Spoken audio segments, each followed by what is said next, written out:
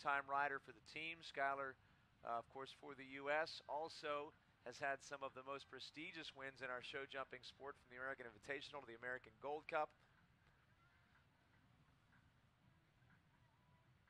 Her horses have also been on great form here. Her Grand Prix horse I saw jump in the qualifier was on great form, so it, it helps when all of your whole team's going well as a rider. That's it's uh, creates a lot of confidence. For sure, and I could see her carrying herself with that confidence as well as a result. Skylar last week finished up uh, second in our $72,000 Honor Hill Grand Prix. That one came aboard Robin de Puntol.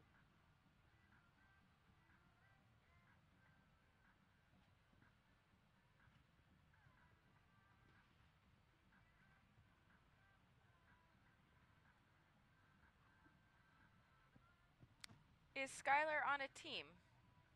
I don't believe Skylar has shown on one of our uh, teams as okay. yet here. And honestly, you know, we can go through and look at the rotations. As you know, each of these teams has six riders. Not all of them have been fielded just yet.